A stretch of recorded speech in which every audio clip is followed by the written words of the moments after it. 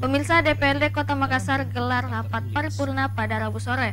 Rapat tersebut guna mengesahkan perubahan komposisi alat kelengkapan DPRD Kota Makassar tahun 2022-2024.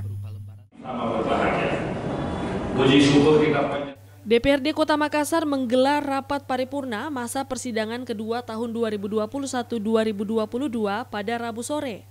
Rapat tersebut dipimpin langsung oleh Rudianto Lalo selaku Ketua DPRD Kota Makassar dan dihadiri oleh 29 anggota dari total 49 anggota DPRD Kota Makassar.